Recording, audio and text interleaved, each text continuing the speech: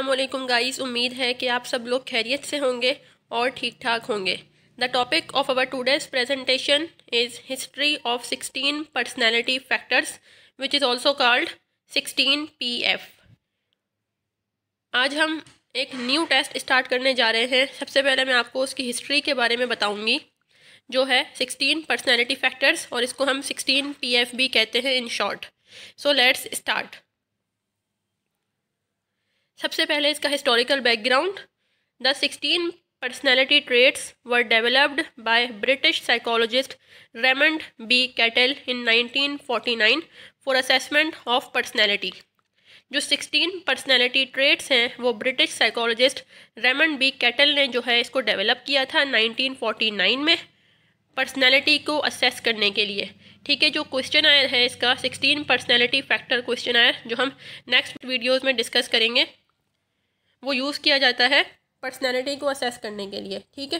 Cattell began by assembling all personality trait names occurring either in the dictionary और in the psychiatric and psychological literature Cattell ने ये sixteen personality traits या sixteen personality factors जिसको हम कहते हैं, वो कैसे जो है वो डेवलप किए, ठीक है? तो कैटल ने क्या किया कि पर्सनैलिटी के ट्रेड नेम्स ठीक है? एक डिक्शनरी थी जो कंपाइल की थी गॉर्डन एल्पोर्ट ने और हेनरी ऑडबर्ट ने 1936 में एक डिक्शनरी कंपाइल की थी जिसमें तमाम ट्रेड नेम्स जो थे उस डिक्शनरी में मौजूद थे।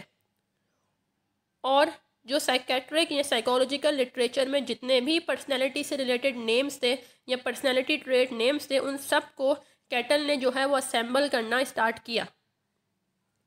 This list of four thousand five hundred four real traits is first reduced to 171 trade names by combining obvious synonyms. अब वो जो डिक्शनरी थी, उसमें टोटल हमारे पास 4504 ट्रेड नेम्स थे जिसको हम रियल ट्रेड्स कहते हैं उसको सबसे पहले जो है, वो कैटल ने रेड्यूस किया 171 ट्रेड नेम्स के अंदर वो कैसे किया कि उस डिक्शनरी में जो 4504 रियल ट्रेड्स थे उसी के सिनोनियम्स मतलब उसमें यूज़ किए गए थे। ठीक है मतलब अगर एक कोई उसमें ट्रेड है तो उससे रिलेटेड ही दूसरे ट्रेड्स भी उस डिक्शनरी में मौजूद है। तो कैटल ने क्या किया? जो ट्रेड के सिनोनियम्स थे ना, उन सबको एक कंसीडर करके, इस तरह उन्होंने बहुत सारे ऐसे करके जो है वन सेवेंटी वन ट्रेड्स में जो है, उस डिक्शनरी को रेड्यूस कर दिया।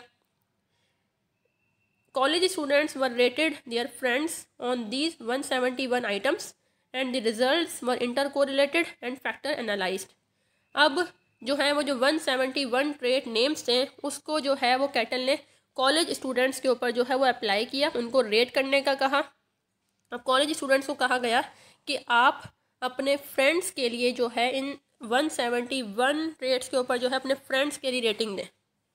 ठीक है? मतलब कि अगर मेरा कोई, अगर मुझे कहा जा रहा है, ठीक है, कि इन वन सेवेंटी वन ट्रेड्स के ऊपर जो है, अपने किसी फ्रेंड के लिए रेटिंग करो। ठीक है कि उसकी पर्सनैलिटी ट्रेड्स में जो है, ये वाले ट्रेड्स उसमें कैसे आ रहे हैं। ठीक है, वो इस कैटेगरी में फॉल करता है, या उसकी पर्सनैलिटी जो है इन ट्रेड से रिजेंबल करती है या नहीं।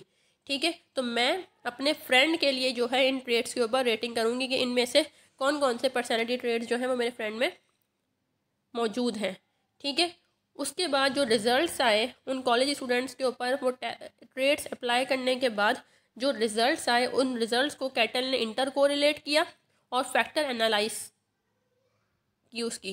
ठीक है फैक्टर एनालिसिस क्या है? ये एक स्टैटिस्टिकल टेक्निक है, जिसके थ्रू उन्होंने इन वन सेवेंटी वन ट्रेड्स को जो है वो एनालाइज किया था और उसके बाद इनको फिर फर्दर रेड्यूस किया गया, जो हम आगे पढ़ेंगे अभी। ठीक है?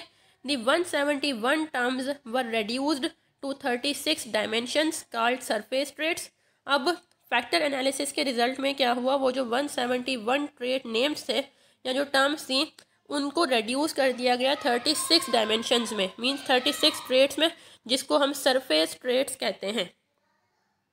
Subsequent investigation by factor analysis finally produced 16 distinct factors that accounted for all the variables फिर उन 36 सरफेस ट्रेड्स को अगेन जो है, उसके ऊपर इन्वेस्टिगेशन की गई।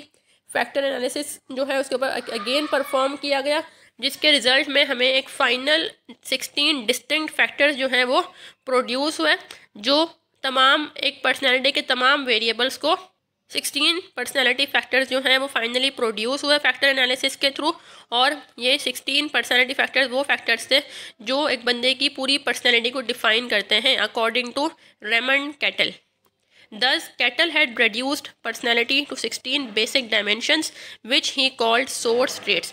इस तरह रेमंड कैटल ने उन ट्रेड्स को 16 ट्रेड्स में जो है वो रेड्यूस कर दिया जिसको सोर्स ट्रेड्स कहा जाता है।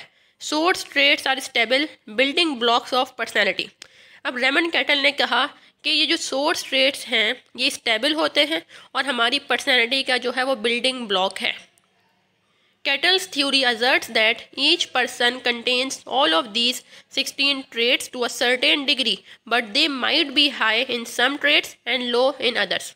अब कैटल की जो 16 पर्सनैलिटी थ्योरी है वो ये कहती है कि ईच पर्सन जो है वो ये 16 ट्रेट्स कंटेन करता है ठीक है मतलब हर इंडिविजुअल में जो है 16 पर्सनैलिटी ट्रेट्स होते हैं लेकिन डिफरेंस क्या होता है कि इनका जो लेवल है, इनकी जो डिग्री है इन ट्रेड्स की, वो वेरी करती है।